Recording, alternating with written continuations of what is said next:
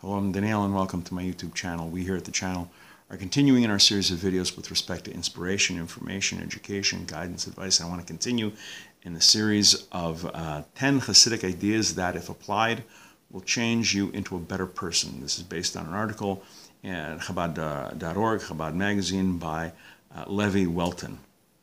And um, this one is uh, number eight action is holy.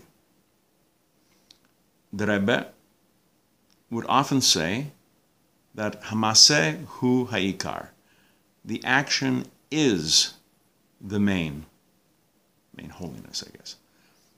The spiritual significance of the physical world, the realm of action, is elucidated in many Hasidic texts. The Baal Shem Tov emphasized the need to work with the body rather than break the body in order to achieve divine enlightenment.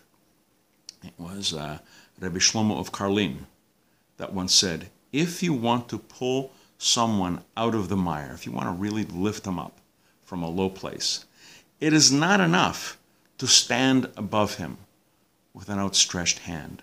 You yourself have to climb into the muck, immersing yourself fully into the mud.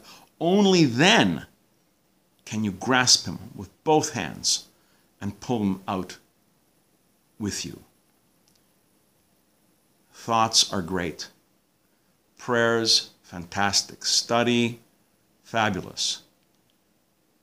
But action is holy. Deeds speak. This is not just a philosophy. This is not just a faith. You have to do. Mitzvahs require action. A Jew needs to act. Put this into action. That's the main thing. Not prayer, not study, action. Now, I'm not saying you shouldn't pray. I'm not saying you shouldn't study. God forbid. You should. But the whole point is to put things into action. We're going to be doing uh, more videos along these lines. Please come back. Please watch. Please learn. And until next time, I'm Daniel, and thank you too much.